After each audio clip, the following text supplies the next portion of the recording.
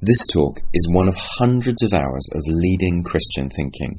Go to www.euroleadershipresources.org and sign up to get our monthly email. More resources to support ministry are available to you now. The European Leadership Forum exists to connect local Christian leaders with God's global resources.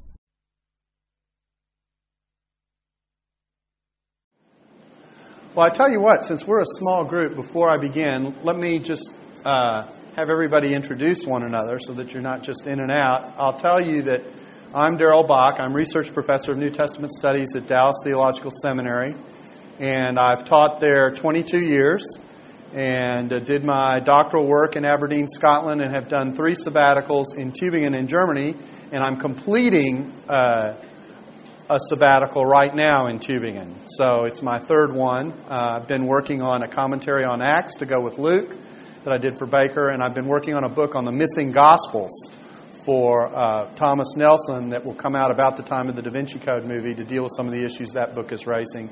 The extra biblical Gospels and a comparison between the extra biblical Gospels and uh, the New Testament Gospels. So that's who I am.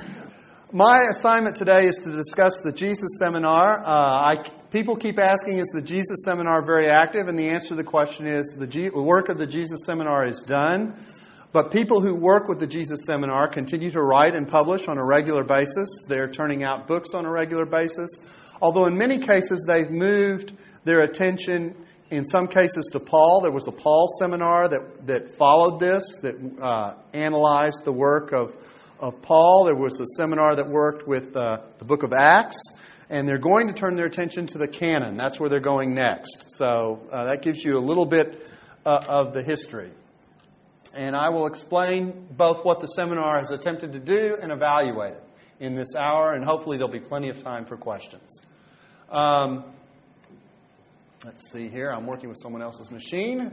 What is the Jesus Seminar? The Jesus Seminar is a group of New Testament scholars working together to reach a consensus as to what Jesus really said as opposed to the words that have been attributed to Jesus by the later tradition. It is an assumption of the Jesus Seminar that the Christ of faith and the Jesus of history are not the same. Uh, Perhaps more importantly, it is an assumption that words have been put into Jesus' mouth to one degree or another. And so, over several years, the seminar met to evaluate the individual sayings of Jesus, running through not just the canonical Gospels, this is important, but also the Gospel of Thomas. Because another value of the Jesus seminar is that the Gospel of Thomas is a reflection of independent and early tradition about Jesus, something that most scholars don't accept. We'll talk about that later. Um, in this picture is um, over here on the left is uh, Daryl Schmidt, who teaches religion at TCU, who I'm very familiar with uh, because we're both in the Dallas, whoops, Fort Worth area. Um, oftentimes, the media will call one of us to ask about Jesus questions, and then when they're done, the, the, the media always has a question that says, Who can we get who reflects the other side of the question? And we now have a thing where we say, Well, you need to talk to the other Daryl because, uh, because his name and mine are, are, the first names are the same. Anyway, that's Daryl Schmidt. Uh, I don't know who the other two gentlemen are, but I'll show you some pictures of some of the other key players here in a second. Who's, what's behind the Jesus Seminar? Well, behind the Jesus Seminar is the Westar Institute of Sonoma, California. It's the sponsor of the Jesus Seminar. They have their own website, the web, web westarinstitute.org. And the chief organizer of the Westar Institute is uh, Robert Funk, who, uh, who is the founder of the Institute who is the Funk of the Blas de Brunner Funk Greek grammar that some of you may be familiar with, and was a former president of the Society of Biblical Literature, uh, is a disgruntled former uh, evangelical. He grew up in an evangelical home. And as it's been, I think I've heard this is the third story I've heard about this in the last 24 hours involving three different figures. Sometimes the major people who are opposed to evangelicalism are people who have reacted to it or against it uh, in their lifetime, and Robert Funk is no exception. Uh, that's Robert Funk. That's John Dominic Crossan. John Dominic Crossan is a former co chair of the Jesus Seminar. He's probably the most prolific writer from the seminar on issues either related to the seminar or related to the historical Jesus. Uh, he used to teach at a school in the Chicago, Illinois area. He's now retired. Uh, I've done uh, several sessions with him at various settings in which uh, he represents one side and I uh, have represented the other. Uh, and very good, skilled communicator, very effective communicator, very clear in his presentation, and an interesting fellow who grew up in the Catholic Church. Who belongs to the Jesus Seminar? Well, it originally started with 30 fellows who were professional scholars who worked in the New Testament area. They weren't necessarily Jesus specialists, but some of them were. The membership grew to about 74 fellows and 100 associates. An associate is a way of describing someone who's an interested non specialist. Uh, many are well known New Testament scholars. Crossan certainly is well known. Uh, uh, Funk is certainly well known, and there are many others who are a part of the group. A few were evangelicals. I have uh, a couple of uh, friends who participated. One was uh, Robert Stein, a name you may recognize, who teaches, uh, well, who taught until recently at, at Southern Seminary. He um, participated for a while and then said he saw the way the thing was structured and withdrew. And then another friend of mine, a friend named Robert Webb, who I'm working together on a project for IBR, for the Institute for Biblical Research on the Historical Jesus, he has hung in to the very end. He, he stayed to the very end. Original purpose to compile a list of all the words, canonical or not, attributed to Jesus in the first three centuries. That was the first part of what they wanted to do. So, first, figure out what Jesus is attributed or is said to have said. Then to determine by consensus which of these words were probably from Jesus and which were later. The goal of the seminar is to popularize the results of these deliberations. I will tell you one reason why I have a, an appreciation for the seminar in this sense. They are honest about what they're doing. Many people who work in these areas are not completely honest about what they're doing as Jesus scholars. This group is completely honest about what they're doing. They are saying very clearly that things that are attributed to Jesus, he did not say, and we believe that. And there's, there's no equivocation on that. Uh, so their goal is to popularize the results of these deliberations, and their goal in their written materials is to, is to bring outside the ivory towers what has been, what they claim to be well known in scholarly circles to the public square. And to the extent that they have gotten the attention of the media, at least in the United States, not so much in Europe, uh, they, were, they were marginally successful in the United States getting people's attention because they were highlighted in all the news magazines, etc. It was from a PR standpoint, uh, and Robert Funk uh, had been a publisher previously, so he understood how this worked. Uh, he was very able to get uh, the message into the public square.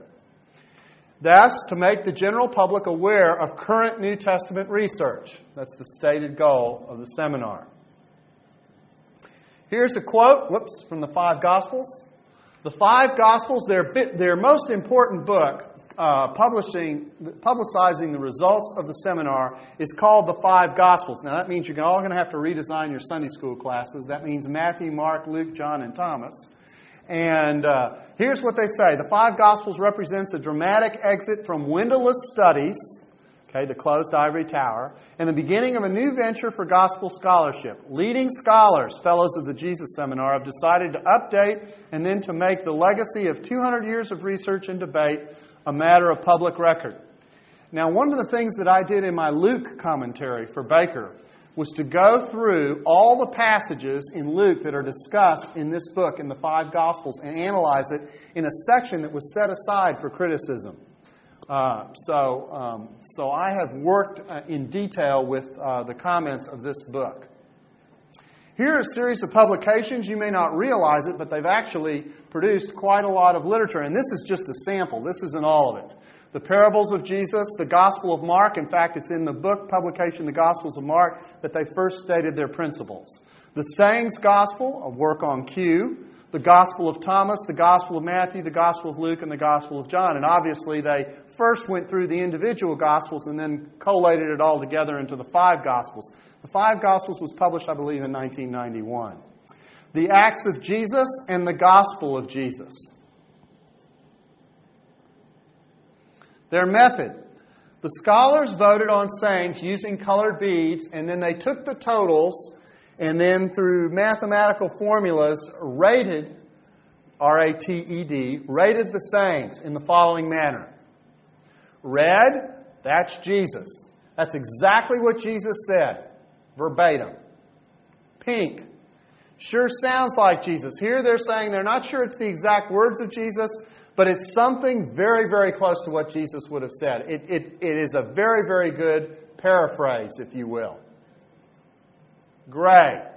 Well, maybe. This may be Jesus' ideas, and thus it might be Jesus' teaching, but it may not be his exact word. So it's something slightly less than a paraphrase. It could be an explanation from a gospel writer, bringing out the elaboration of what Jesus said, or something to that effect. Black. There's been some mistake. Okay, something's wrong. Jesus didn't say that at all. I lost the sound on that when I switched computers, which is a shame. Anyway, um, so black means uh, Jesus didn't say this at all. Now I'm going to give you some percentages so you can see what the results are. Well, first we'll talk about working premises. The Jesus Seminar has published its working premises, and it's a long list of things. Some of these premises we could agree with, some we would disagree with, some we would reject entirely. In other words, uh, complete completely wrong, and others we might have questions about. Uh, when I say some of these we would disagree with, it, it might depend on what, what the actual premise means, uh, as opposed to uh, as opposed to being sure that we disagree with them. Okay, there are 64 numbered premises and seven. Now, notice this pillars of scholarly wisdom. Who wants to be against a pillar of scholarly wisdom? Do you? I mean, if you're against it, what are you? A pillar of scholarly foolishness? So, uh, uh, you, so you can see how they're working with language here. what follows is a sample.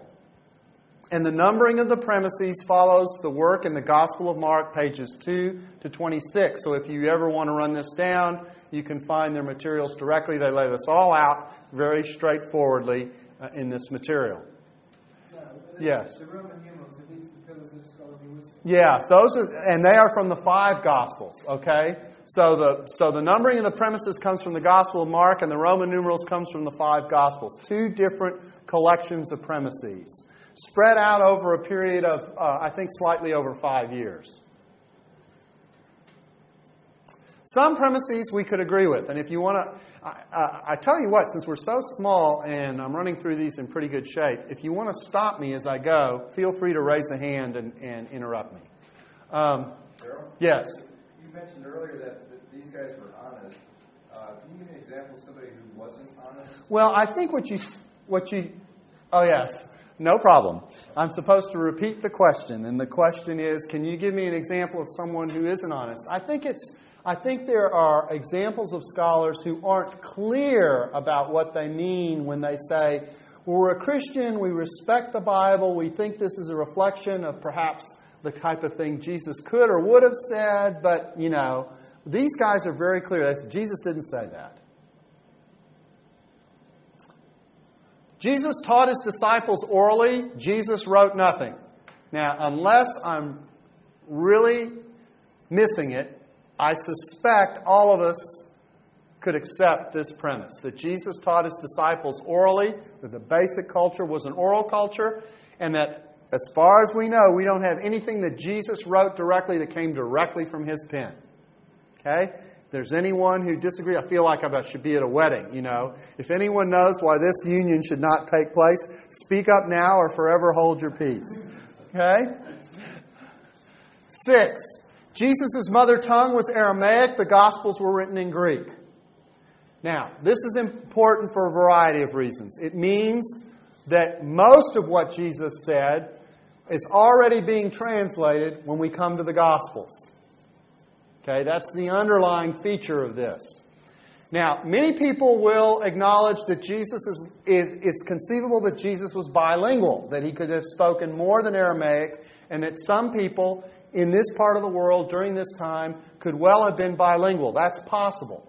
But the premise is that most discussions taking place between Jewish people would have happened in a Semitic language, in a Semitic context, and would have involved the general Semitic language of the time, which was Aramaic. So that's the assumption that's working with there. So we're already in translation. The point is, we're already in translation when we hit the biblical Gospels. Most of this is straightforward. If you've had seminary training, this won't surprise you. More. Mark was written before Matthew and Luke, along with many people who work in New Testament studies. Many evangelicals also accept the fact that Mark is the first gospel and that Matthew and Luke came later. Now, in evangelical circles, there are some who still hold to a form of Matthean priority, just as in New Testament circles, Bill Farmer and others who aren't conservatives also hold to a form of Matthean priority. So that is a, a, minor, a minority position to hold a Matthean priority. But many hold that Mark is first, and many evangelicals hold that Mark is first. And for example, at Dallas, I think everyone but one of us uh, holds to, to Mark being the first gospel that was written. Luke and Matthew shared a similar source of Jesus' teaching, which is popularly known as Q. This is a collection of teaching where Luke and Matthew overlap. It is, is strictly a teaching source for the most part. It's about 200 verses of overlap between Luke and Matthew that's very similar. The premise behind Q, there are two premises behind Q. The first is that Mark is the first gospel. And the second is, just as important, that Matthew and Luke did not know each other. So if Matthew and Luke did not know each other, and Mark is the first gospel, and Matthew and Luke have 200 verses of overlap, where did that common material come from? Okay? And Q is what is positive. Now, it is discussed and debated whether Q is one single written source whether it's a form of oral tradition uh, between the churches that Luke and Matthew both had access to, that kind of thing. I'm not stating a particular position here, nor does the seminar necessarily take a particular position here. But the idea of the existence of Q is a premise that they talk about that many evangelicals also will share. Ancient oral culture is not like modern print based culture. Okay? this has to do with how the gospel tradition was transmitted. What, you know, we don't have Xerox machines. We don't have printing presses. So how was the material passed on? It was passed on orally. There are two models for how this is done, two basic models. This is a little bit of an oversimplification, but we only have an hour. Um, on the one hand, there's the model put forward by people like Bultmann, who wrote a comprehensive work on the synoptic gospel tradition that highlights the fluidity of the oral tradition and uses the model of Icelandic folklore as one of the, one of the means by which to assess how oral tradition was communicated from, from setting to setting and from generation to generation. On the other hand, you have a model that's highlighted by people who've studied Jewish rabbinics that talks about the way in which uh, the oral tradition has been passed on. Rainer Riesner from uh, Tübingen is an example of someone who's worked with this tradition. It goes back to what's called the Scandinavian school of Gerhardsson uh, and uh, Riesenfeld, and they argue for a controlled communication of oral tradition from generation to generation, where things were carefully passed on. So you've got kind of a loose model and a uh, tighter model, if you will, that's out there. But everyone has agreed, I think, that for the most part, the Jesus tradition, before it was written down and encapsulated in the Gospels, circulated mainly in an oral manner. This is coming back into attention now. Uh, Jim, Jimmy Dunn has written a book called Jesus Remembered that was written uh, in 2003 for Eerdmans. And he is saying that New Testament scholars have not taken the oral culture enough seriously. And there's a whole tradition of discussion about oral culture that predates this. Kenneth Bailey has written a book on Jesus' parables that discusses this. He uses the model of how oral tradition has been passed on in Bedouin culture in the Middle East currently as a model for this. Also, a kind of controlled communication uh, of oral tradition as you pass it down. But this is a premise that basically uh, evangelicals, I think, would recognize as well. Jesus possibly spoke Greek as a second language. I've already mentioned that one.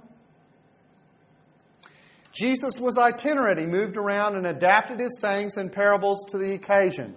This is important because it means that certain pieces of material that may be repeated may not necessarily belong to the same setting. If Jesus is itinerant and he's preaching and things are being passed on orally, there's no guarantee that that oral strand of the same story necessarily belongs to the same moment. Okay, so that's an important premise. Now, what the seminar does with this is, uh, is not only does he adapt his sayings to the occasion, but the early church does to a significant degree as well. Some premises we might disagree with. Forty years elapsed after the death of Jesus before the first canonical gospel was composed. Um, Again, I say we might because some evangelicals will put uh, the bulk of the Gospels, including Mark, at or around AD 70 as the earliest Gospel, in which case it is right around 40 years. People date the crucifixion either at 30 or 33. Those are the two most popular dates for Jesus' crucifixion. Um, but a lot of evangelicals will put Mark earlier. They'll put Mark uh, in the early 60s, sometimes in the early 40s. If you're uh, in the early, in the late 50s, some people who hold a Matthean priority will put Matthew very early. I know people, evangelicals, who hold who put Matthew in the late 40s, early 50s. That's unusual, um, but uh, there are some evangelicals who hold that. Um, so we might or might not accept that 40 year gap. Many conservative scholars would say the interval is closer, closer to 30 years. And I think that's where the bulk of evangelical conservative scholars are, is that Mark would be the first gospel and you would put it somewhere in the early 60s. Other premises we would disagree with. The Gospel of Thomas represents an earlier stage of the tradition than do the canonical Gospels. Now, this is probably one of the most important points in the Jesus seminar. I'm going to get up and draw a diagram to show you what difference this makes. Remember that we've said that most people put Mark first. I'm going to change colors, that's too light. They'll put Mark first as the first gospel, and then you'll have Q, and then you'll usually have Matthew, and then you'll have Luke. And what often happens in historical Jesus discussions is material that comes out of Mark and Q is given a higher degree of reliability, talking historically critically now in historical Jesus discussions, while Matthew and Luke are, uh, are given uh, less weight. And this is usually abbreviated with M and L. And what we have here are a lot of actions of Jesus, and what we have here is, is a lot of teaching from Jesus. And then, of course, we get a mix in M and L. Now, what the Jesus seminar wants to do is they want to do this. We'll put Mark here. Most of them will acknowledge that Mark is still the earliest. And then generally they'll put Thomas here, 50s and 60s period. And I'll tell you why that's important in a second. Then they'll put Q, and then they'll go M, L, and of course John here is at the bottom. I didn't put John in, but I should. Okay. Carol, sorry, a moment ago you said the mark was from 70 according to them. This thing said 50, 60s. Yes, you'd, you'd slide all this down, and Mark would, sorry, and Mark and Thomas would come at right about the same time. Okay, so yeah, again, to repeat the observation, the question was, isn't Mark put later uh, in the Jesus seminar? Yes, it's right around the 70s, and Thomas is coming in the middle portion of the first century as well. So you slash these. Now, why is this important? This is important because of the nature of Thomas. Thomas is a, is a teachings gospel. Okay? It's like Q in that it summarizes Jesus' teachings. Okay? Not only that, it tends to highlight Jesus as the revealer of wisdom. Uh, there's very little Christology in Thomas. Now, let me just tell you right now that it's often claimed there's no Christology in Thomas. That's not correct. just remember saying 77. Okay? Saying 77 in Thomas talks about uh, the unique authority that Jesus has. It's the one text that discusses Christology. It's there, okay? It's not much, but it's there. Anyway, so there, they, I often say there's no Christology. That's wrong. Okay? There's little Christology. So what we get out of Thomas is Jesus as a teacher of wisdom and not the figure at the center of the plan of God. This leads to another declaration, and that declaration is that there were alternative expressions of Christianity in the first century. One of which presented Jesus in this kind of uh, uh, deified direction where the Messiah became Lord or the Messiah became Son of God. Some books even reflect this title in, in the way they talk about it uh, from Christ to Lord. There are books about the historical Jesus that have that kind of a title. Um, in contrast to this, there was this alternative Christianity that just presented Jesus as the one who revealed the way to God, who told us who we really were in ourselves, uh, highlighting the idea that it's proper knowledge about who we are before God that is the way to salvation, themes that show up in the Gospel of Thomas. So, by attempting to move Thomas early, the, uh, the result is a a situation in which the argument is you've got competing Christianities very early on. And this is a variation of the Bauer thesis that there was no such thing as orthodoxy in the first century, which I talked about yesterday in the Da Vinci seminar. Okay, is that clear? Okay. Now, here's an important fact. Most scholars, not just conservative scholars believe the Gospel of Thomas to be early second century. Okay? This move up the scale is one of the moves the seminar made that most New Testament scholars working with historical Jesus materials do not accept. Now, I need to qualify this in one way, and that is there is discussion whether within Thomas there might be some sayings that are early and that go back to this period. That's different, however, from saying the entire gospel belongs to this period and the theology reflected in that gospel as a whole belongs to this period. Okay, so that's an important distinction.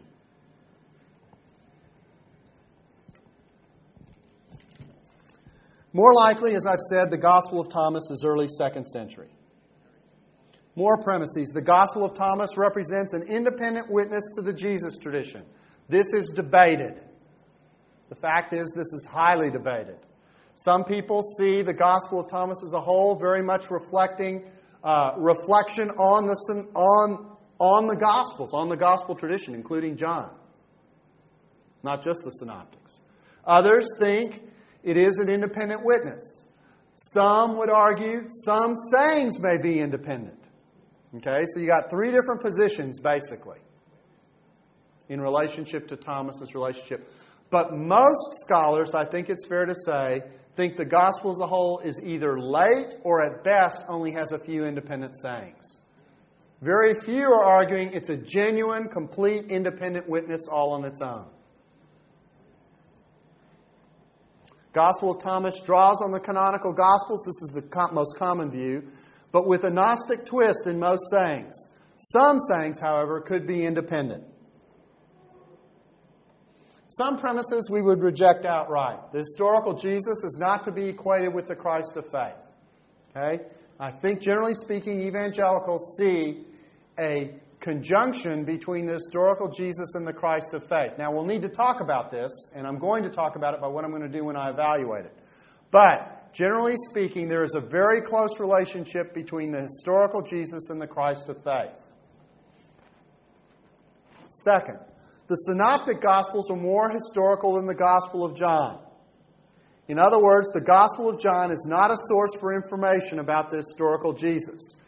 Now, in making this move, generally speaking, the seminar is closer to where a lot of New Testament scholars are. Most New Testament scholars tend to view John as a reflective gospel about Jesus as opposed to being directly in touch with him. uh, because of the difference in the way Jesus presents himself. He's more explicit uh, in his connection to the Father and those kinds of issues. Um, I think it's more complicated than that, although there's no doubt that when one reads the Synoptics and one reads the Gospel of John, one can see a difference of emphasis. In fact, I've written a book called Jesus According to Scripture, in which I first go through the synoptic portrait as a whole and then come and pick up John and show where they tie together to try and make a, a better case for the historicity of the Gospel of John. And Craig Blomberg has recently written a book as well on, the histor- on historicity in the Gospel of John that also is very well done. An Aberdeen colleague of mine. Fifth, the authentic Jesus of the sayings and parables is not to be equated with the non authentic Jesus of the kingdom in the return. Another feature of the Gospel of Thomas is that Jesus is what's called non apocalyptic. He isn't looking for God to come and judge in a catastrophic way, in a way in line with Jewish expect- expectation. This is the exact opposite of Albert Schweitzer's conclusion about the historical Jesus, who said that's what Jesus was all about. Anyway, um, their point is, is that Jesus, the Jesus who produced these sayings and parables, where these elements tend to be less uh, demonstrable, is not the same as the non authentic Jesus. Non authentic means it doesn't go back to Jesus, isn't authentic with Jesus. The non authentic Jesus of the kingdom in return. So if we get themes of kingdom in return, we know that's not really Jesus. It's called a non apocalyptic Jesus. That's one of the results of the seminar. Again, many scholars, not just conservatives, you're going to hear me say this over and over again. A lot of times I'm going to say, not just conservatives, believe this portrait of the seminar is false. It's a false understanding of the historical Jesus. Mm-hmm. We're just saying that this was a result of the seminar. Yeah. It's also premise. Yeah, they, because they're premising it on the, the premise of it to a degree is a result of this model. Okay? The question was uh, is this a result of the seminar or is it a premise? And I'm saying it's a premise because of the juxtaposition of Thomas and Mark and what Thomas tells us about the earliest Jesus or at least the alternative earliest Jesus. You've got to remember that for the seminar, the issue is there's not one Jesus, portrait of Jesus out there. Okay? And so we've got to figure out what really goes back to him. And they opt to go the wisdom. Uh, Tom Wright talks about the Wrede Strasse and the Schweitzer Strasse. Okay? And the Wrede Strasse is the idea that Jesus was a teacher, uh, was, that Mark is responsible for turning Jesus into the Messiah.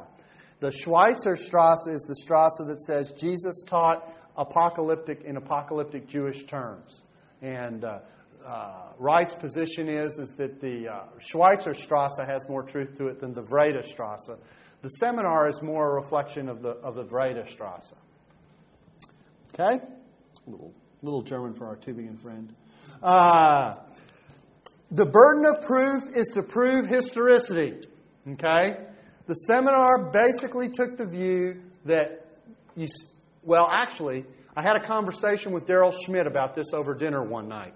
Um, and uh, we happened to be at a conference together and we had dinner together and we were talking about the work of the seminar and he said i start off with the idea that a saying is black and it has to earn its way up the scale to get to red Now, if you're with me okay uh, so the burden of proof is to prove historicity. And many of the people working with the seminar uh, were comfortable with that premise. Not all of them, but many of them. And remember, this is a conglomeration of people who are all over the map. So these premises reflect where many of the people were. Uh, I think, let me just make an aside about burden of proof. There's a lot of discussion today about burden of proof in all kinds of areas. It's my own feeling that the whole burden of proof debate is a huge rabbit trail. The burden of proof is on the person presenting the case. I don't think you can go into a discussion and say there is a burden of proof that lies with one side or the other before you go in. I think you have to make your case. And the burden of proof is on you as the presenter making a case to make that case.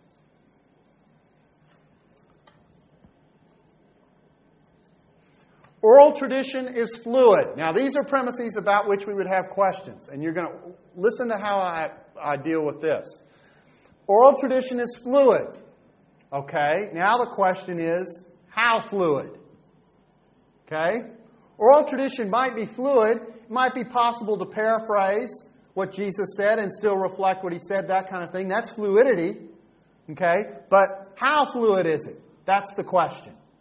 Is it possible to create sayings, to use a phrase that we like in relationship to Genesis, ex nihilo? Okay? Out of nothing. See, that's different than saying we're paraphrasing or we're explaining or we're elaborating what Jesus said or we're developing what Jesus implied. Different level of fluidity. So that one depends. Question is, how fluid? The oral mentality remembers, the claim is, the oral mentality remembers not the precise words, but the core of what was said. Okay? So this at least argues that in an oral context we can get pretty close to what was said, but maybe not exactly what was said. And the answer here, I think, is sometimes, but not always. We have Jewish examples of tradition being passed on where care about words is very important. For example, there's a very famous prayer in Judaism known as the 18 benedictions that was repeated daily. You learned it. It's much like we learn the Lord's Prayer by rote. Okay? And when you learn the Lord's Prayer by rote, you pretty much remember it the way you were taught it. And the only issue is do we trespass or do we sin? You know, uh, the two versions. Which version of the Lord's Prayer did you, did you, uh, did you learn? Mark has arbitrarily arranged the events in his story of Jesus. Now, we're going to start to get to the subtleties of all this. And that is that history is more than mere chronological sequence, it can be topically covered. So the mere fact that there is rearrangement isn't necessarily a problem for historicity. I can decide I'm going to tell you four miracle stories in a row. For example, there is a section in the gospel tradition where four miracle stories are told in a row. They uh, begin with Jesus calming the sea. Then we have the Gerasene demoniac. Then we have the woman with the flow of blood. And then we have the raising of Jairus' daughter. Four right in a row. In two of the Gospels, they all appear together. But in one Gospel, we have two of them, then a series of events, and then the other two. Course, one of them's a paired miracle, the, the hemorrhage and Jairus' daughter. So, two of the Gospels have them four in a row, two of the Gospels have them separated by events. The question is, does that impact historicity? No, it impacts precision about chronology, but it doesn't necessarily impact historicity. So the idea that Mark has arbitrarily arranged the events in his story, and arbitrarily is a problematic word here, uh, is the issue. Mark may well have done some arrangement. In fact, the other gospel writers may have done some arrangement as well. But shifting of sequence in and of itself is not an argument against historicity. In fact, in Luke's gospel, it's likely that the scene where Jesus appears in the synagogue in Luke 4 has been moved up in ministry to introduce the section on Galilean ministry to, in effect, say, this is what Jesus' ministry in Galilee was like. How do we know that that's likely been moved? Because in the midst of that unit, there's a discussion about performing the miracles here that you performed in Capernaum, only there's one small problem. In Luke, at that point, Jesus hasn't been to Capernaum yet. He's at Capernaum in the next scene. So that's a clue that likely this scene has been moved forward as a type scene for the entire unit. So, yes, there is arrangement in the events of the story of Jesus in the Gospels, more than likely, but it's not arbitrary. Nor does it impact historicity. Yes? With, with those ones where it seems to be arranged more topically, are there, situ- are there situations where the Gospels still say immediately after this he went and did that? And so they, they give the impression that he has gone straight on from one to the other. Uh, the, the question is whether there's an impression about whether or not there's a sequence involved.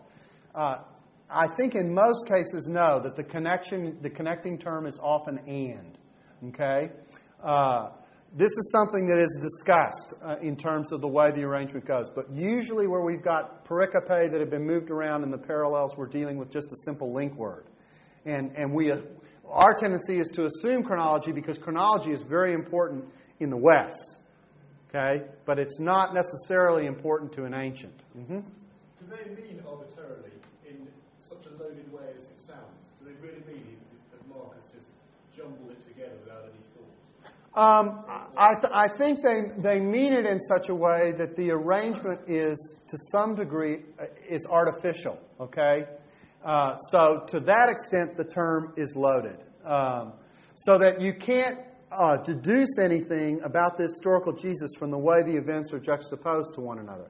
My point would be, if you really study this carefully, you can, in some cases, tell that it's been topically arranged, and so there are certain judgments you don't make about the relationship of the units. Jesus' disciples were oral and itinerant. They moved around, revised slash created his sayings and parables as the situation demanded. And so the question becomes are the op- options only revision and creation? What of explanation? What of paraphrase? What of elaboration, if you will? Now, I do think that if you work with a synopsis, everybody knows what a synopsis is. That's where you put the words of the text in parallel columns so you can see what the exact wording is of the various Gospels vis a vis one another. There are coloring schemes that go with this for those who really work with it carefully. I have a synopsis at home that barely is still together. Okay? It can never come apart. Okay? Because I've colored the whole thing. Okay? I can't lose it. Uh, and I've actually transferred a lot of that stuff onto my computer, so I have a computer record. So should it come apart, I won't go and pull out my hair and end up with my hairline. Okay, so. Uh, but it's when you look at these parallels that you see that you're dealing with this phenomena. And the phenomena is the juxtaposition of similarity and diversity, which is always the key to working with the Gospels. You have certain things that are similar between the Gospels. You have certain things that are dissimilar between the Gospels, including wording, including wording in certain contexts. And we're going to look at some examples in just a second. This has to be dealt with when you deal with questions about the historical Jesus. Q and Thomas were composed during the period of 50 to 60 uh, AD. Some, uh, this premise suggests, in fact, that Q also belongs earlier in this mix than I suggested earlier.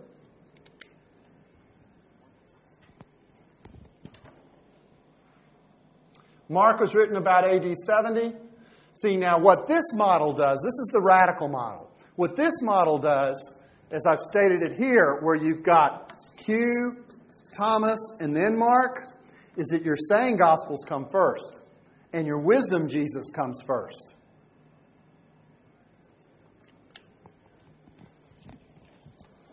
Matthew was composed about 85.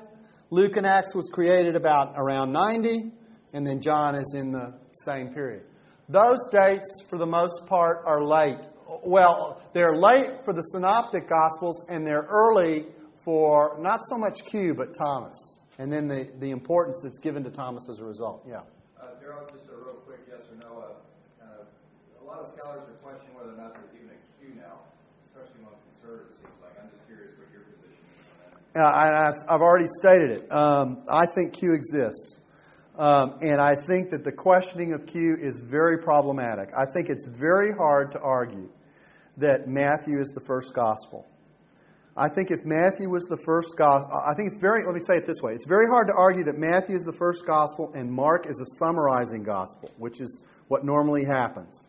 Because normally the order becomes Mark, then Luke, uh, sorry, Matthew, then Luke, then Mark. Okay? And Mark is seen as kind of a Reader's Digest summarizing gospel. The reason I think that's difficult is because if you look at the way Matthew begins, or you look at some of the content of Matthew with the speeches, like the Sermon on the Mount or whatever, if that came first and Mark is summarizing, how do we not get some infancy material? How do we not get some indication of something out of the Sermon on the Mount? So I just find that very, very difficult. The one thing that the Matthean prioritists have going for them is the testimony of church history. But Matthew was very quickly received uh, as very quickly received as the most widespread, widely circulated of the synoptic gospels. It and John were the two major gospels in the early centuries, and Mark and Luke played a lesser role. And because of the Hebrew connections that Matthew has, it was natural to think that Matthew would be the first gospel coming out of a Hebrew context. Okay? But I, the, the problem that I have is I don't think that Matthew and Luke know each other, and yet there are 200 verses of overlap. So the question is, where does that come from? I think the, the simplest answer is Q, or something like Q. Now, I've written an article on Q in great detail, and it so happens that Q itself is quite complex. There's about a third of it that is virtually word for word between the two versions. There's another third of it that's very close, where you just got minor changes. And there's another third of it that's all over the map in terms of being close. So I actually, I actually don't think Q is a written document that's, that they have shared. I think it's, it's part of the church tradition that exists in this oral, largely oral form, okay, that explains some of the differences. And some of the one third, the outer one third of Q, may have nothing to do with Q at all may just be independent tradition. Okay, let's talk about examples of variety and core. And I just raised these for your attention. Many of these will be familiar to you, but they highlight the nature of the problem. The temptation in the wilderness. Which account represents the actual order of events? Okay, I'm going to, uh, and, and, I, and I raise this to make this point. It's very popular in the United States for some conservatives to say we, we shouldn't have anything to do with the historical critical method, and we shouldn't have anything to do with the historical Jesus. It's all packed with uh, problematic presuppositions, many of which I've stated for you, and so it's just too dangerous and too problematic to go into. We should avoid it, period. My response is everybody has to do work on the historical Jesus, no matter how conservative they are, because of the nature of the material in the Bible itself. And these are some of the examples I point out to make the point. The temptations are not told in the same order in the two, in the two Gospels where they appear. As you all know, there's bread, there's temple, and there is, what's the third one? Bread, temple, uh, sorry? No, kingdoms and, uh, yes, bread, temple, and kingdoms. That's right, I'll offer you the world. Okay? And in one of them, they're in that order, and in, in Luke, the order is switched so that the temple comes last. Okay? So if you ask the historical question in the temptations, what's the order? Everybody has to do historical Jesus work. Everyone has to sit back and say, has one, it's clear that one of these right, unless you're going to attempt to argue, and you're still doing historical Jesus work if you argue this, there were two sets of three, and they came in one order the first time and another order the second, which seems to belabor the issue, so I don't think that's likely. But you might try and get out. So both of us are giving us a true picture, but they're each giving us half. Okay? That's still historical Jesus work. Okay? So everybody does it. It's the, it's the degree to which it is done and the manner in which it is done that is the issue. So that's the first example. Second example the baptism of Jesus. What is it that the voice said when Jesus was baptized, and was this a public or private event? Okay, and those of you who studied this in detail may well be aware that in Mark, it's very clearly stated that this event seems to be very private between the Father and Jesus. More importantly, are the words that come from heaven. This is my beloved Son in whom I am well pleased. That's Matthew. You are my beloved Son in whom I am well pleased. That is Mark and Luke. So again, the question is if we're going to ask what the exact words, now this isn't a problem with the historical Jesus, but it's an analogy. If we're going to ask what was said by the voice from heaven, which I think we would all take to be a divine voice of one kind or another, okay? Did he say this or did he say you? Now, again, one of the solutions might be, and I know people who argue this, he said both, and each gospel writer chose one. In fact, there is an extra biblical gospel that takes this solution. And if you look in your text critical index, uh, uh, in your text critical apparatus of your New Testament text, you will see that reading in the Gospel of the Ebionites. Okay? So that's one way to try and solve the problem. You're still doing historical Jesus work. More importantly, I think, is to analyze well, perhaps what's going on is this. This was a private experience which God, the voice from heaven, addressed to Jesus directly, as an imprimatur of what he was saying. The Gospel of John tells us that John saw this as well, so it wasn't completely private, but everyone around didn't see it. That's the point. And, not only that, what Matthew does is to paraphrase it and give its historical significance, which is still historical. God was saying at that moment, This is my son. Okay? Even though he said it with the words, You are my son. Okay? Thus, you can get variation in fluidity. You still have historicity. It's harmonization, which some people don't like but I think is perfectly legitimate because I think we do this historically all the time. Sometimes we quote someone, sometimes we summarize them. I often use this illustration in, uh, in talking about this. You're riding along in your car and you get the five minute news summary. Okay, what's beautiful about this illustration is it works in the United States and I know it works in Germany. Okay? Because in Germany, at the top of the hour, there's a five minute news summary, uh, at least in Baden Württemberg, uh, Eins, there's a five minute news summary at the top of every hour, okay? And we get the same thing in the United States. Let's assume that George W. Bush gets up and gives an hour long speech. The person editing that report or that speech has a choice. He can say either, President George Bush addressed Congress today and he said, and run a clip, run an audio clip, quote him directly. Or he can say, President Bush told Congress today we must have more money to fight the war in Iraq.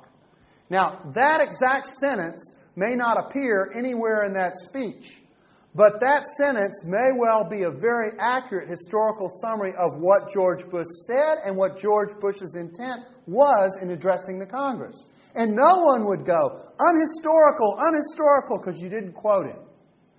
As long as the summary was accurate, okay, it would still be seen as historical. So, uh, the idea of gospel writers paraphrasing or explaining or elaborating intent, it seems to me, is uh, not a big issue here. The third example Peter's confession at Caesarea Philippi. This is a big moment. Okay, Jesus asks, Who do you say that I am? You are the Christ. You are the Christ of God. You are the Christ, the Son of the living God. Okay, those are the three replies in the synoptics.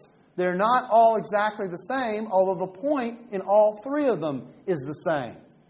Obviously, someone's done some editing, or the tradition that they received had done some editing. The point was the confession about Jesus being the Christ, in contrast to what everyone else thought of him as a prophet. That's the point. But there are variations. Again, doing historical Jesus' work, if you're wrestling what exactly did Jesus say, you'd have to make a judgment about how you think the relationship of those three versions works out. Has someone summarized and simplified, or has someone expanded and elaborated? Those would be your options. Oh. Yes. And what about saying in the original there's no quotation marks either? So, so in a newspaper, yes. you want to write President Bush said, yes. more money, Yes. quotation marks around Right. it, then it, and he hadn't actually used that quote, that would be not fair. But, because he hadn't, that wasn't a quote from him, although it might be an accurate summary. But in the New Testament Gospels, there aren't quotation marks. Okay, the question is whether there are quotation marks in the original in the Greek. The way Greek tends to deal with quotation marks is the answer. The way Greek tends to deal with quotation marks is to put things either in direct or sometimes indirect discourse which is the same kind of effect, but again, I think because we're in an oral culture, we have to be careful not to think of them in the quotation marks like we do. This is, uh, whenever someone comes into a uh, oral exam for me, uh, for PhD program, it's an entrance exam, I have one question I always ask them to see where they are on the Gospels. And the question is, what do you think of the red letter Bible? Evaluate the red letter Bible for me theologically. Okay?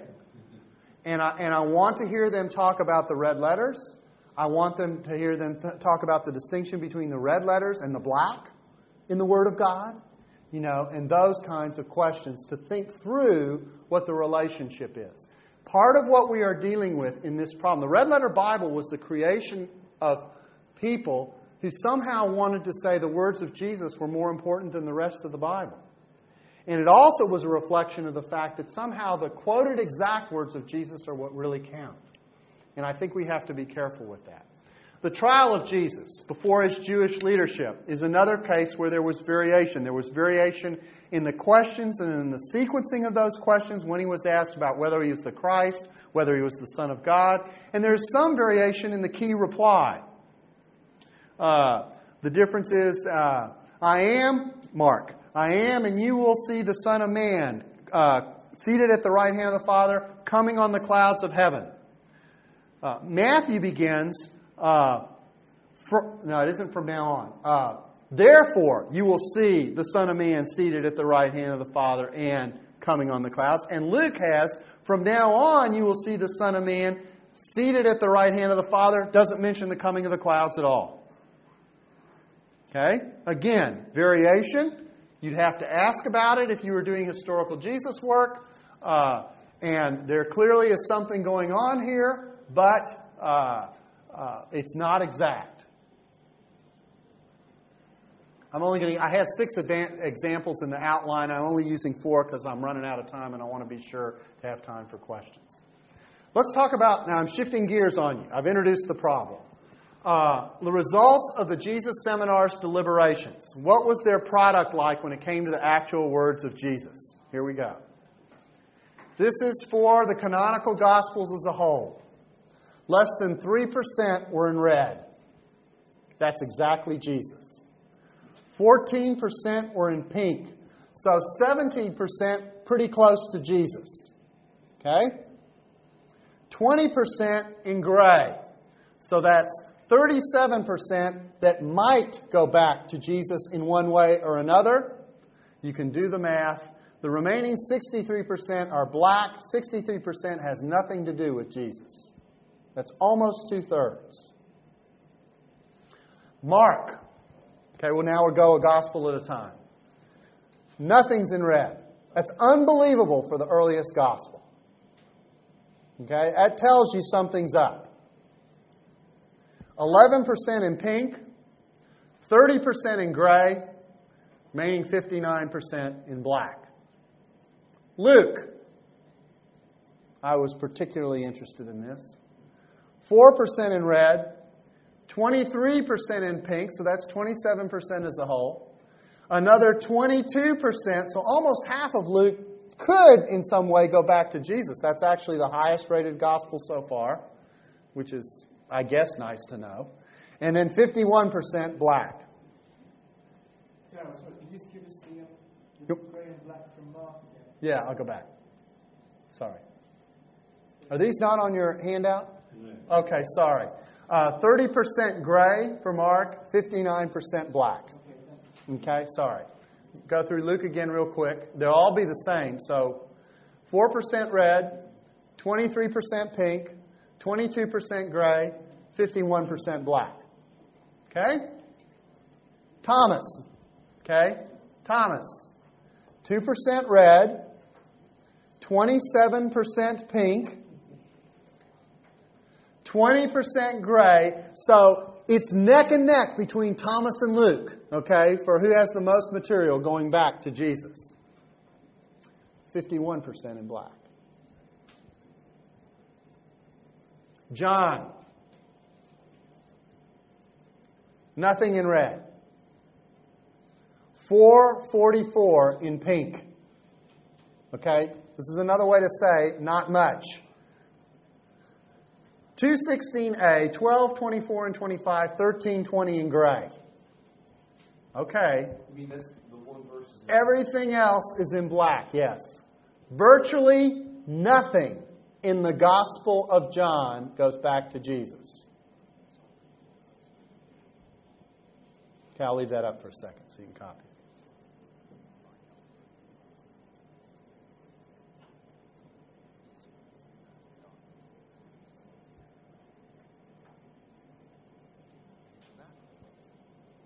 Okay? You want to go back? Okay, sure, sorry. There it is.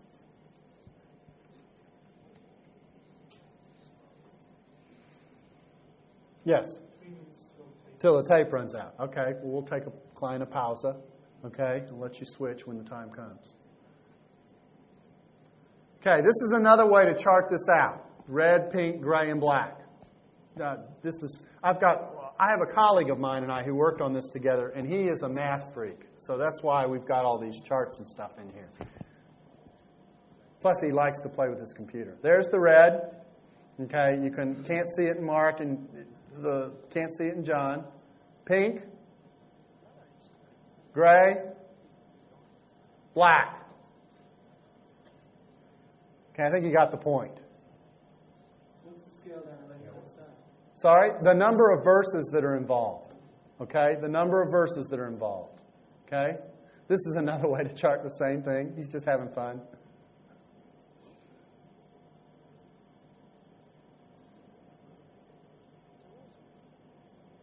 Okay, what do we say about the methods and results of the Jesus seminar? And maybe this is a good place to take our break because it's a natural break. So we'll let him switch the tape and then we'll pick up. Is there coffee outside? I have no idea. I'm There should be. Yeah, half five is is Sunday, so that's yeah, half half past we're done. Yeah. we call it. It's kind of interesting, John is, uh, in brackets, four forty-four, this is, Jesus said there's no prophet without his own. Yeah, and the reason uh, the, the observation is being made that uh, that 444, as Jesus said, there's no prophet without honor in his country, and that's because it's multiply attested. See, that remark is also in uh, Mark, or uh, it's also in Luke. Okay, in the in the synagogue scene that we talked about, and there are variations of it, uh, I think, in the other gospels as well. So that's why it, it's accepted as being. I just got my NRSV, why is it in brackets? Is it a variant or in, in Um, I don't know. You mean why is the verse in brackets in John? In the NRSV? In the, I don't know the answer. I couldn't answer that question without looking at a textual apparatus. just an aside. Yeah, yeah. I I think it's in. Yes, exactly. It's that's what it is. It's it's not that it's textually problematic. It's a parenthetical remark, a summary of something Jesus said in the story. Okay. Uh, what should we say? Sorry, Darrell, but that, that's not even meant to be the words of Jesus? Uh, it is indirectly because it's still a report of something that Jesus said, and so it's still attributed to Jesus indirectly. It's not designed to be in quotation marks, but it's indirect discourse, and as such, it counts. Okay, valuation. Here's the Jesus of the seminar. Here are the summary conclusions in terms of his mission and message. He had no mission with the twelve. He did not predict his suffering. He performed no miracles to draw attention. That's the naturalist uh, supposition coming out. He did not judge. He did not make messianic or personal claims. All this in contrast to the portrait of Jesus in the Gospels. Is he thought to have performed any miracles at all? No. In fact, anytime you have a saying attached to a miracle in the Jesus seminar, almost without exception, unless that saying appears in a non miraculous context somewhere else, it's automatically black. Do you have a summary of what they believe he did say? Yeah, he's a teacher of wisdom. He, he tells us to seek after God, to ask, and it will be received, uh, to give unto Caesar the things that are Caesar's, those kinds of things. Here's Richard Hays, Duke University. Now, Richard Hays is, uh, there are various ways to, to, to speak about Richard Hays. Uh, some people say he's an evangelical, some people say he's not, which is a nice way to say he operates on the edge of American evangelicalism.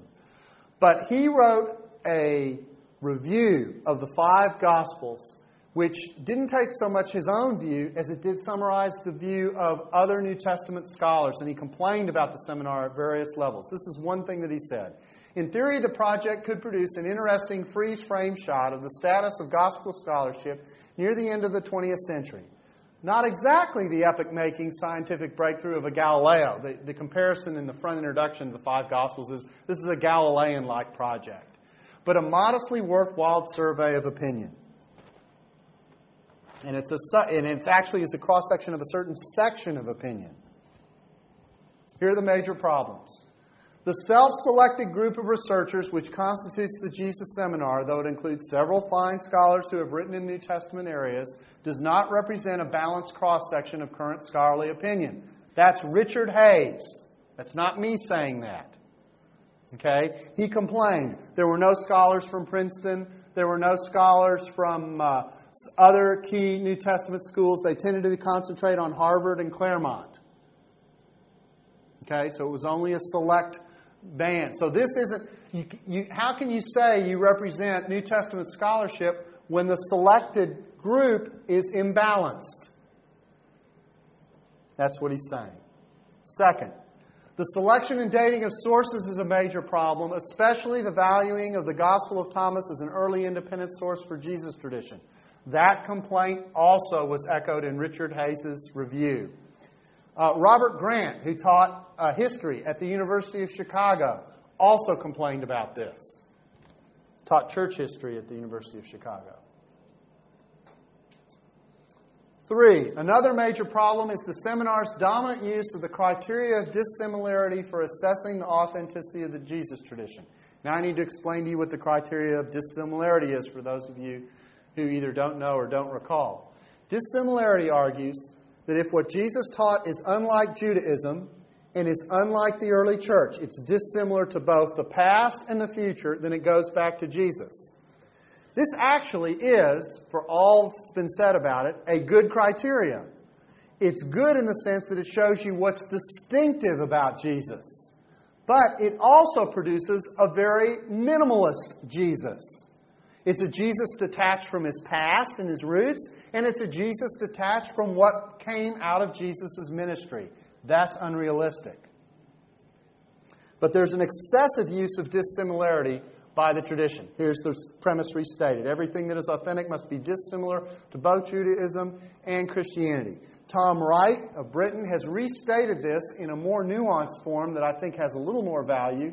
And basically, his statement of this criteria is everything that is not completely like Judaism of the past or completely like the early church may well go back to Jesus. It's called double dissimilarity.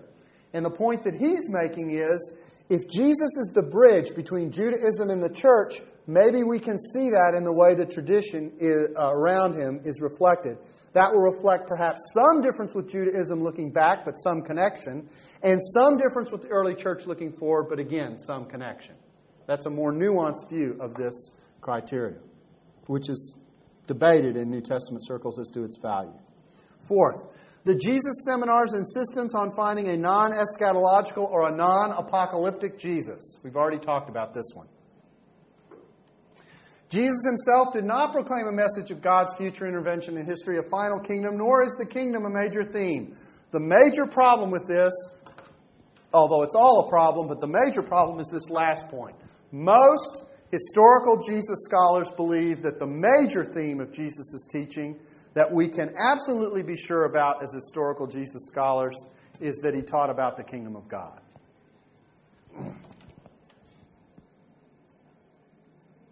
The assessment of Jesus' sayings in isolation from a more comprehensive uh, reconstruction of the events of his life, ministry, death, and resurrection is methodologically problematic and leads to a Jesus whose character does not fit the events we know took place. This is what I call the divide and conquer strategy of historical criticism. It takes each event as an individual unit by itself, one at a time, analyzing it completely detached from the sequencing of other events. No one works with history this way. History is about sequence and impact. And so to detach these events and take them on one at a time, separate from one another, is methodologically problematic. What's even more interesting is, is that if we do this and we end up with the Jesus with the traits that the Jesus seminar has, it's very hard to conceive of why Jesus would have been crucified.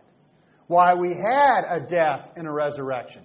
If there's no 12 going on in the mission, if he's not talking about a kingdom of God, if he's just saying a few things that are socially offensive, and there's no real crowd around him, then what's all the bother?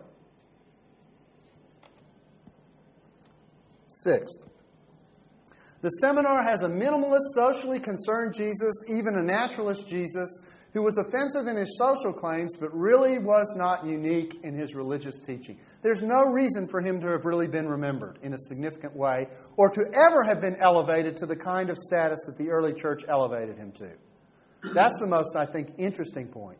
If Jesus is as benign as the Jesus seminar suggests, how did it come to be that Jewish people ended up worshiping this Jesus?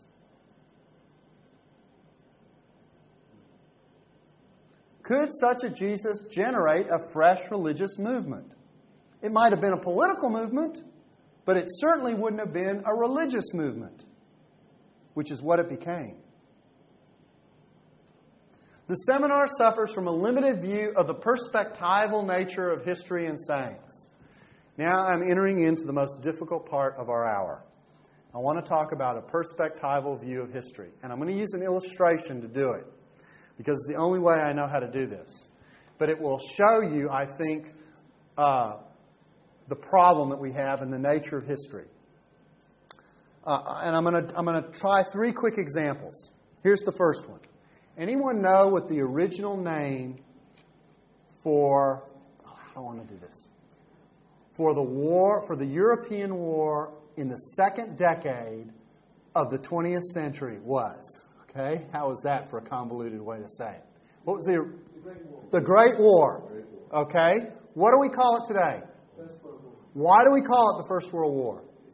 Second, exactly right. Okay, now, would it be a distortion of history to describe the events of the Great War and call them World War One? No, but unless you were claiming to be somebody writing in 1925. Oh, oh, yeah, exactly right. Exactly right. So, so the, here's the point about perspectivalism. The point about perspectivalism is sometimes the significance of an event or an importance of an event or working out of an event isn't seen until subsequent events take place. So, why do we have World War I? We have World War I because we have World War II. Did World War I lead into World War II? It sure did. Ask Hitler. Okay, why did we get why did we get uh, the Nationalist Socialist Party in reaction to the Versailles Treaty? Okay, so they're interconnected. Another example of the same thing, uh, and in class I do it this way. And this at, at this point in class, what I do is I take a clip of the movie Tora Tora Tora. Anyone know what the movie Tora Tora Tora is about? It's a movie about the secret attack of the Japanese on Pearl Harbor. Okay, it was a joint American Japanese movie production. Okay, done in the 70s. That's why I know about it. Some of you look like you may have been playing with sandcastles in the 70s. Anyway, um, I play this clip, and this clip has the, has the day Pearl Harbor is attacked, and the Japanese fighters are coming back to the ship, and they're all elated. They're all elated because the attack was a surprise. It did devastating damage, and I think the whole thing's been a success except for one general. They tell one general that the ship they were most interested in catching in port was not there. And he says this He says, I'm afraid that all we have done is to anger the American lion or tiger. It's, it's something to that effect. I'm paraphrasing. Okay, remember the line? Now, what this shows is the levels within an event in history. If I reported that the Japanese felt that they had had a terrific success on the day of Pearl Harbor, would that be true? One level it would be true. And for many of the fighters who flew the mission, they would have said, Our mission was a success. We did a lot of damage. We caught the U.S. by surprise. We devastated their navy, their navy in the Pacific uh, area. But if I said some people saw within that victory a real problem, that would also be true. Now, let's assume I had two different reports. One of which said this was a victory, the other which said there was a problem inherent in the victory. Would either of those reports be unhistorical? No. That's the point of the illustration. It's the perspective of history that lets us know that the concern that the general had on the day was a real live concern that ended up playing itself out. Another example, final one, this one from sports. My team is the Houston Rockets. I lived in Houston, Texas. And if you know anything about Houston sports history, which most of you wouldn't because you're from Europe, okay, it is that Houston never wins. Okay? So you can, there probably is an equivalent over here. Okay? It's like the difference between Bayern Munich and Munich 1860. Okay? I think 1860's won once or twice or something like that. Not very often. Anyway, uh, the basketball playoffs in the United States are a best of seven. Okay, the first one to win four moves on. Uh, the team with the best record during the year has home court advantage, which is really an advantage in the playoffs. During the playoffs, when Houston won its first championship, in the semifinal round, they met Phoenix and lost the first two home games. Okay, devastating. Go down 0 and 2, lose the first two home games. In the history of the NBA, decades of playoffs, only one team had ever come back from that deficit to win a playoff series, to lose the first two games at home and go on and win the series. It's now happened three times. Happened against Houston this year. Anyway, typical. Anyway, so at the end of the second game in the locker room, the Houston players say, This game is a wake up call for us. Now, when he said it at the time, in the locker room, it was a statement said of dejection because they had blown two home games against Phoenix. The series goes on, and it just so happens that Houston becomes the second team to win a series, having lost the first two home games. At the end of the seventh game, the saying is repeated Game two was a wake up call for our team. But the emotion associated with it everything that it means has shifted significantly because of what has taken place subsequently.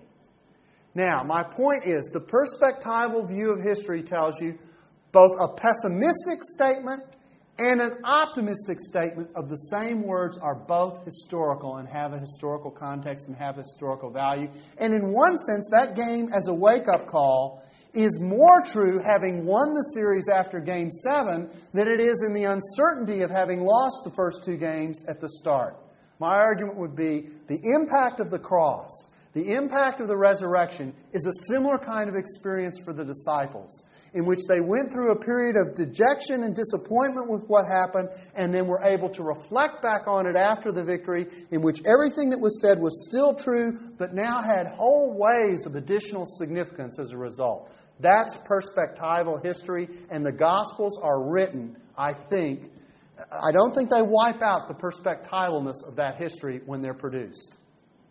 That's my point. I think that explains some of the variation that we have. Subsequent events can reshape sayings in history without reflecting a distortion of that history or saying. That's the point. Subsequent events can reshape sayings in history without reflecting a, distor- a, distortion of that history or saying. Sayings can summarize and still be historical. We do it all the time today. My, my uh, five minute news summary examples fit here. So there is, interestingly enough, despite the claim of being the historical critical method, a too narrow view of history and historicity in the Jesus seminar. That's the point that I'm making.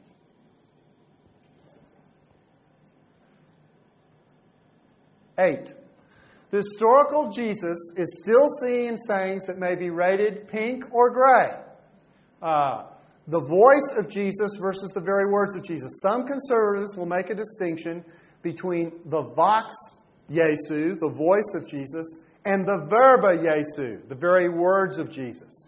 Both reflect the historical Jesus. That's important. That's an important distinction.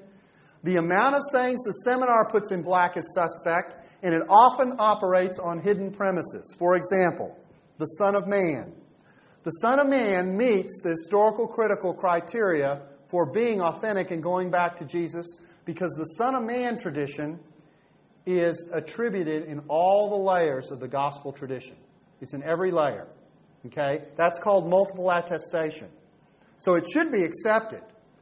But what they do is they cut it up. There is the earthly Son of Man sayings, the suffering Son of Man sayings, and the apocalyptic Son of Man sayings to try and cut up that multiple attestation. Divide and conquer. Okay? That's the effect. And so, it, but what's really going on is, I think, that they're trying to find a way to get rid of the Christology that's in the Son of Man sayings. Because if the Son of Man sayings are authentic, just the, if the only thing authentic in the Gospels is the Son of Man sayings, you've got a high Christology. Okay? So it's important to discredit this layer of tradition because if you have it, you've got a very high view of Jesus. This is Jesus appealing to the language of Daniel 7. This is the, this is the Son of Man riding the clouds, which is something only God does, coming to the Ancient of Days. This is someone with judgment authority. See? Can't have it. No way. So I think it's excluded on theological grounds, and some of the sayings are tied to miracles, so they're excluded for that reason.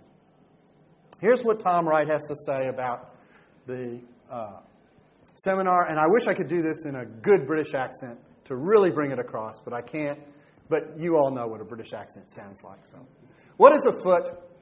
Only a person from the UK would use that word. Okay. what is a foot? Anyway, what is a foot is not the detailed objective study of individual passages leading to a new view of Jesus in the early church. It is a particular view of Jesus and the early church working its way through into a detailed list of sayings that fit with this view. He's saying what they did is they had a view of Jesus and they projected it all back into the Jesus tradition. I think he's right. What difference does it make? Well, at one level, we can say when you're talking with the most skeptical who don't even think Jesus existed historically, etc., at least the Jesus Seminar came up with some authentic words from Jesus and they think he really existed. Okay, so when you meet the super radical, okay, you can say, even the liberal Jesus Seminar knows that Jesus existed. Okay? At the same time, the wedge is firmly driven between the Jesus of history and the Christ of faith, which I think and I've expressed as a problem. The seminar offers an attempt to explain who Jesus is that is representative of where many who study him are. This, I think, is the big issue theologically. I think most people who are trying to undercut Jesus today in the public square want to turn him either into a great moral teacher, a Galilean rabbi, or a social activist.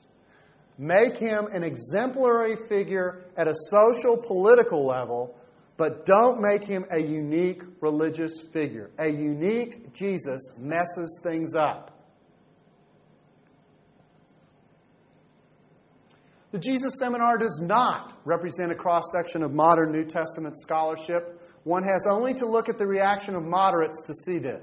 It also is an example of what we call the second quest. Those of you who know the history of the study of the historical Jesus know that there are three quests the original quest that comes out of the Enlightenment that was a naturalist, uh, a portrait of a naturalist Jesus trying to take out all the dogmatic elements on theological grounds.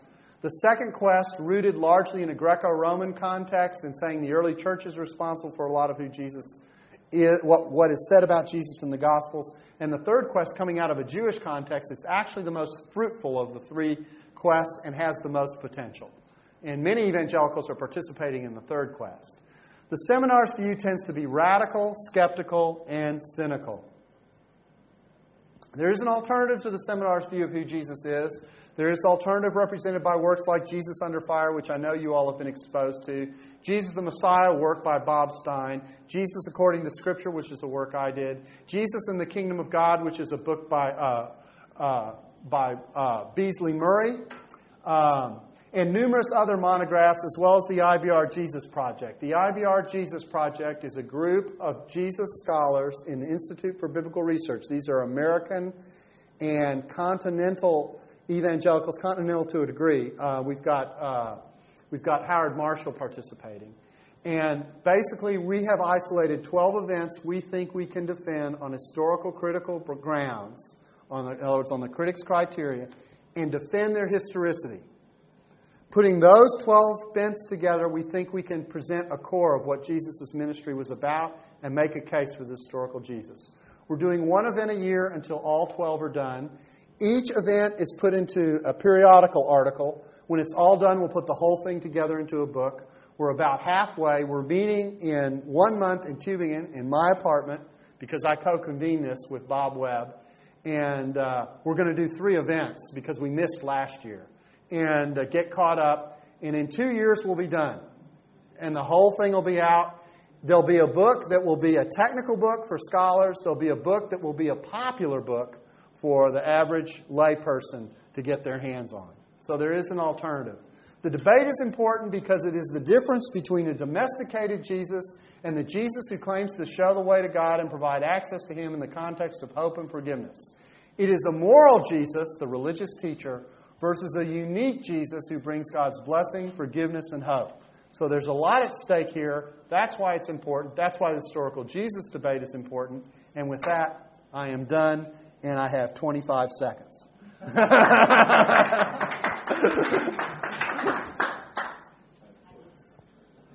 Evaluation forms are coming to you. Thanks. Can I just ask, Sure. um, the people who are on the, uh, the seminar, Yes. Do they have to agree with the list of whatever it was? No. the seven pillars of wisdom? No. So who drew up the seven? The, the, major, the major people associated with organizing the seminar. Right. Okay. How many? Uh, well, you're probably talking about a. Uh, there's probably a group. I don't know exactly, but my guess it would be a half dozen, twelve. But the bulk of the seminar participants, I think, would reflect the premises. But it was an open invitation forum, and so it was whoever showed up. It just happened that there were a lot of people showing up who uh, who uh, held this view. You know, it's interesting. One of the associates is Paul Verhoeven, who is the, who is a Hollywood director. Um, directed several movies. Uh, I thought I saw another question. Yes. How big is their impact? Their impact, their, uh, how big is the impact? The impact is it was all over the public square in, uh, in the early 90s. There have been numerous specials produced for cable TV niche markets uh, over the last 10 years that reflect what the seminar holds. So there's a lot of visibility. What's interesting is in the scholarly community, it was kind of met with a, huh, because, because one, not just conservatives, but moderates weren't happy with it. And, and secondly, because there wasn't anything new or earth shattering that came out of it. It was just a, a way of hitting the public square. So a lot of people are, a lot of lay people are aware of it, okay? And in conservative circles, there are a lot of lay people who don't know how to respond to it. Uh, so at that level, it's had some impact. It's made almost no impact at all in Europe.